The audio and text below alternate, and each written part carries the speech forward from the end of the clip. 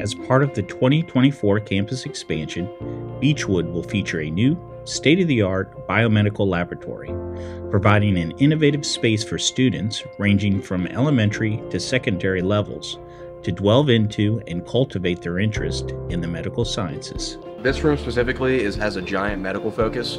So you can see in the back over here, there's these like two little dividers.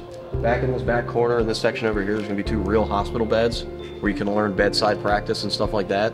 And then there's gonna be two industrial grade medical workbenches that go floor to ceiling. They're double sided so you can do work on each side of them. And you can learn how to use different medical equipment like scalpels and proper medical practice and stuff like that. And then kind of the, the big gem of the room, the, the selling point is our virtual dissection table we're putting in.